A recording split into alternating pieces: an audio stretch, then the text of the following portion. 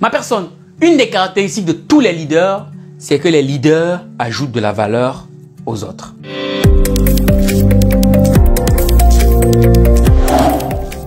Tu sais ma personne, il est beaucoup plus facile de blâmer plutôt que de valoriser.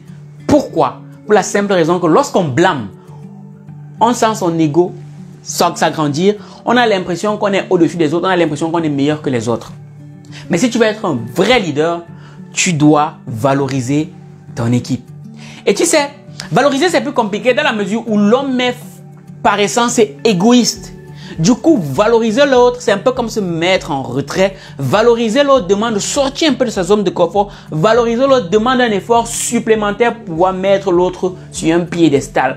Mais les leaders ont vite compris le fait que si tu veux que les gens te suivent, il est capital que tu saches mettre de la lumière sur les autres. Mais maintenant, tu vas te poser la question de savoir, Valère, comment est-ce que je fais pour mettre de la lumière sur les autres et donc augmenter ma capacité à pouvoir influencer les uns et les autres pour qu'ils puissent me suivre dans les différentes activités que je veux mener. Et je tiens à préciser ici que ma personne, si tu es en business et que tu veux monter à un autre niveau, il est capital que tu développes ton leadership parce que sans leadership, personne ne voudra travailler avec toi. Et quand bien même les gens vont vouloir travailler avec toi, si tu manques de leadership, ils ne vont pas rester très longtemps.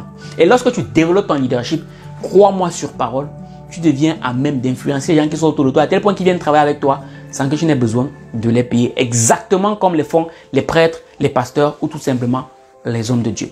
Donc dans cette vidéo, je vais partager avec toi quelques astuces qui vont te permettre de mettre de la valeur sur les autres et donc ce sera la meilleure manière pour toi de les encourager à venir travailler avec toi. Première astuce, ma personne, ce qu'il faut savoir, c'est que le succès d'un leader se trouve dans la, dans la, non, ne se mesure pas, non pas à son propre avancement, mais se mesure surtout à l'avancement des gens qui l'accompagnent.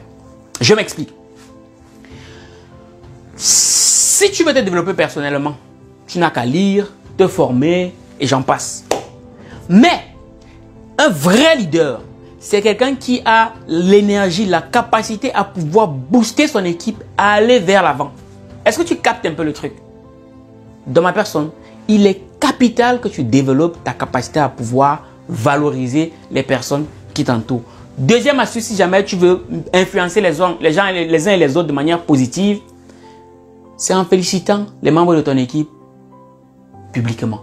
Et oui, ma personne, lorsque tu as un membre de ton équipe qui se démarque bien, félicite-le publiquement, c'est bon pour son ego et ça lui donne envie de donner davantage. Et oui, ma personne, beaucoup de gens ont tendance à penser que pour motiver les gens, il faut surtout donner de l'argent. L'argent, c'est bien.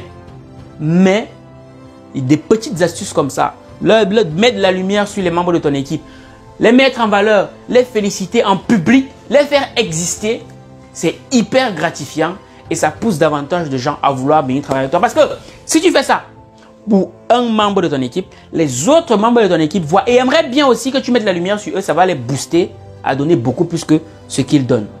Et c'est pareil aussi pour les gens même qui ne sont pas dans ton équipe parce qu'ils vont voir comment tu manages ton équipe et aussi ils auront envie de venir travailler avec toi parce qu'ils savent qu'en venant travailler avec toi, tu vas aussi les mettre en avant et c'est aussi un signe de reconnaissance.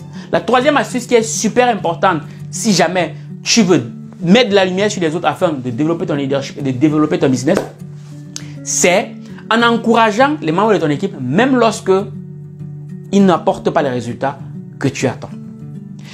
Récemment, il y a un membre de mon équipe qui me contacte et me dit Valère, je viens de faire une connerie. Il dit Comment ça? Il me dit En fait, j'ai discuté avec un prospect et je lui ai pas donné le bon tarif. J'ai donné un tarif très faible. Du coup, là, franchement, je ne sais pas trop quoi faire. Tout de suite, je lui ai dit Gars, c'est fait, c'est fait. Maintenant, on va assumer tous ensemble. Je lui ai pas dit Tu vas assumer. Je lui ai dit Ok, tu as fait, ok, bon, c'est une erreur, c'est le métier qui rentre. Maintenant, il ne reste plus qu'à assumer tous ensemble parce que nous sommes tous dans le même bateau. Et tout de suite, j'ai senti comment sa gêne a totalement changé. Son attitude a totalement changé. Et oui, ma personne. Il a dit non, t'inquiète. C'est le métier qui rentre. Donc sache que les erreurs, tu en feras encore. Mais ce n'est que comme ça qu'on avance. Moi aussi, par le passé, j'ai fait la même erreur que toi. Mais ça ne m'a pas empêché de te permettre de travailler avec nous aujourd'hui. Dans ma personne, sache que ça fait partie du métier. Tu as bien retenu ceci. Encourage les membres de ton équipe, même lorsqu'ils ne produisent pas les résultats que tu attends. Je sais que c'est difficile. Je sais que c'est difficile, Mais sache que devenir leader, c'est aussi difficile. Mais crois-moi, du petit niveau que j'ai, c'est hyper gratifiant d'avoir des retours comme quoi, Valère, tu m'as transformé. Valère, les petits messages, les petits trucs que tu m'as appris au quotidien, sont des choses qui me permettent d'avancer. Donc, vraiment, ma personne, c'est très simple, c'est très facile. Donc, toi aussi, si tu t'engages vraiment sur cette voie-là, tu peux aussi arriver à influencer positivement les membres de ton équipe. La cinquième astuce, je ne dis pas de bêtises, si jamais tu veux influencer les autres de manière positive, c'est tout simplement en les écoutant. Et oui, ma personne, le fait d'écouter, écouter les membres de ton équipe te permettra de découvrir ce qui a de la valeur pour eux. Une fois que tu auras découvert ce qui compte pour les membres de ton équipe, tu pourras mieux les aider à, à, à voir ce qui compte pour eux et à réaliser leurs rêves. Parce que les gens ne s'intéresseront à toi que lorsqu'ils vont se rendre compte que tu t'intéresses à eux. Je répète, les gens ne s'intéresseront à toi que lorsqu'ils vont se rendre compte que tu t'intéresses à eux. Si les gens viennent travailler avec toi, si les gens viennent travailler avec toi, c'est parce que quelque part, ils espèrent que avec toi, tu vas leur permettre de réaliser leurs rêves. Mais comment tu vas permettre à quelqu'un de réaliser ses rêves si tu ne connais pas quels sont ses rêves? Donc, ce que tu dois faire, c'est que lorsque tu as un membre de ton équipe qui vient te voir, il faut que tu lui poses la question de savoir c'est quoi tes objectifs? Et comment est-ce que nous, on peut te permettre d'atteindre tes objectifs? Et dès lors qu'il va sentir que tu lui permets d'atteindre ses objectifs, crois-moi, il va aussi te permettre d'atteindre tes objectifs. C'est pour ça que je dis que les pauvres sont égoïstes. Parce que ils ne reçoivent pas assez, parce qu'ils ne savent pas donner. Ma personne, si tu veux recevoir un, il faut donner deux. Mais pour donner deux, il faut bien donner. Pour bien donner, il faut savoir ce que les gens veulent que tu leur apportes. Et pour ça, il faut les écouter. La sixième astuce, si jamais tu veux influencer positivement et ajouter de la valeur aux autres, c'est simplement en partageant ton expérience, ma personne. Oui, ma personne. Si tu deviens le type de personne qui veut aider les autres à progresser, eh bien, dis-toi que tu vas devenir toi-même déjà quelqu'un qui apprend tous les jours pour progresser aussi. Parce que tu ne peux pas donner ce que tu n'as pas. Et si tu veux donner, tu vas chercher à grandir pour avoir davantage de choses à donner. Et lorsque tu vas donner aux autres, tu vas les permettre de grandir. Eh bien, qu'est-ce qui se passe?